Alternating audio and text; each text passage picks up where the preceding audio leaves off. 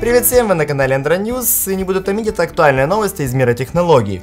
В этом выпуске я вам расскажу много интересной информации и советую досмотреть его до конца, потому что в конце я выскажу свою точку зрения относительно iPhone X, потому что мне кажется, многие люди неправильно меня поняли в видео после презентации. Погнали. Ни для кого не секрет, что тренды на рынке задают такие компании, как Samsung и Apple. Но многие считают, что Samsung это делают первые, а купертиновцы просто умеют красиво копировать и преподносить свой продукт. Хотя и это у них не сильно получается, но давайте-ка обо всем по порядку. Все, кто тщательно следит за технологиями, знает, что Samsung впервые показала гибкие дисплеи для смартфонов еще несколько лет назад. С тех пор мы слышим только отговорки и слухи, когда же все-таки появится первый девайс с таким дисплеем. Но вскоре ситуация должна разрешиться. Как заявил в ходе интервью в Сеуле президент мобильного подразделения Samsung, в следующем году нас ожидает совершенно новый тип девайсов. Он рассказал, что уже в 2018 году Samsung выпустит смартфон с гибким дисплеем дисплеем в рамках линейки Galaxy Note. Пока что нет никакой информации о том, каким именно будет гаджет. Он может как действительно складываться пополам, так и состоять из двух половин шарниром по центру, как в классических раскладушках. Одно я знаю точно, это очередной эксперимент от Samsung, и его судьбу сможем определить только мы, простые пользователи. Пишите свое мнение в комментариях, какой следующий шаг в производстве смартфонов нас ожидает. И как вы относитесь к идее со сгибаемыми дисплеями? По-вашему, это удобно? Если вы заметили, я пропустил новости относительно смартфона LG V30. И сделал я это не просто так. Э, в день анонса не было известна стоимость этого продукта, и поэтому объективную оценку сделать просто было нереально. Буквально вчера ситуация изменилась, теперь мы знаем ценник на этот э, продукт, и я вам хочу задать вопрос, нужен ли нам LG V30 за эти деньги, и стоит ли его брать э, на обзор? О технической части смартфона я говорить не буду, то есть кто интересуется данным вопросом и сами знают, что на бумаге аппарат вполне неплох. Но для новичков я сделал небольшую таблицу. Итак, в Южной Корее производитель просит за V30 840 долларов, в то время как конкуренты стоят как минимум на 130 баксов дороже. Но самое главное, что в Южной Корее стоимость смартфонов LG обычно на 15% выше, чем в США или других регионах. А это значит, что цена на LG V30 по всему миру должна быть ниже объявленной. Я знаю все фейлы LG, но этот аппарат, на мой взгляд, вышел у них вполне неплохим. Ну так что, берем? Пишите свое мнение в комментариях, стоит ли пытаться достать V30 побыстрее. Я хочу обратиться к своим самым бывалым подписчикам, еще к тем, кто подписан на наш канал со времен Meizu MX4.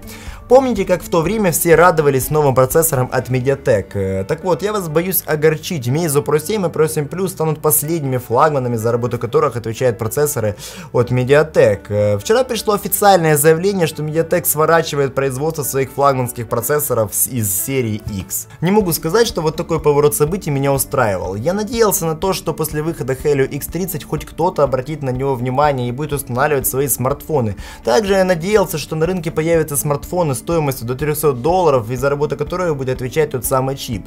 Но, увы, как-то получилось все совсем радикально. Спешу обрадовать, что интересные новинки в этом году на iPhone X не закончатся. Стала известна дата выхода Google Pixel и Pixel Pixel 2, а также производители этих смартфонов. Чтобы долго вас не грузить, новинки должны представить 4 октября. Pixel 2 будет производить компания HTC, а Pixel XL 2 LG. Какими бы скептиками мы не были, все равно эти смартфоны будут очень мощными игроками на рынке. Вспомните хотя бы первые пиксели. Я после презентации просто взял и забыл об этих смартфонах. А после реальных первых тестов все были просто в шоке. Ну, в общем, вы меня поняли. Также в октябре Huawei должны представить свой первый безрамочник. Как вы уже знаете, название этого гаджета Mate 10, и если смотреть на его техническую часть, девайс должен быть и впрямь неплохим. Жаль только, что процессоры Kirin печальные, но все равно это не мешает ждать эту новинку. Из самого интересного могу выделить, что для пользователей будет доступно три версии устройства Mate 10, Mate 10 Pro и Mate 10 Lite. Характеристики известны только средней и старшей версии. Аккумулятор огонь и радует, что в топовой версии будет широкоформатный дисплей, как на Galaxy S8. Далее хочу с вами обсудить вопрос относительно представленного iPhone 10, а то в комментариях под видео я увидел множество негатива в свою сторону. Мне хочется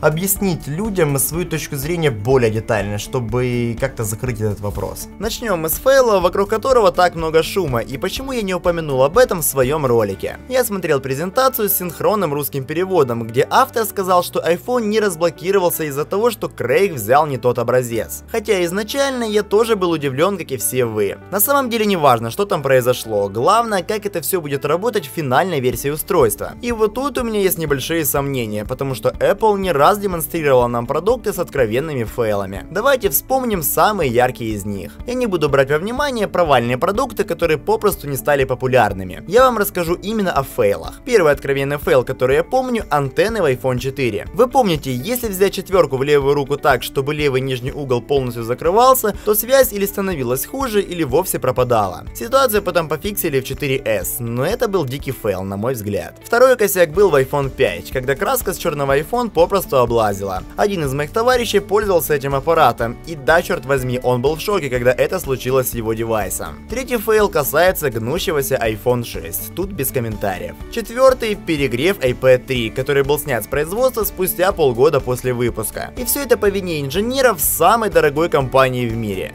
И, друзья, если честно, я вам говорю все это не для того, чтобы унизить компанию Apple, и у них намного больше фейлов, чем я перечислил. Я это говорю для того, чтобы вы понимали, Apple может накосячить, и ничего удивительного в этом не будет. А что касается моего порыва купить этот продукт, э, так это только потому, что наконец-то у Apple получилось выпустить такой девайс, который вызвал у меня спортивный интерес. И мне реально хочется взять его и протестировать, для того, чтобы понять, неужели купертиновцы смогли, или это просто концептуальный смартфон по типу Mimix с кучей недоработок.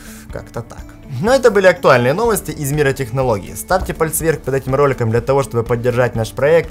Подписывайтесь на канал и да пребудет с вами Android. Пока-пока.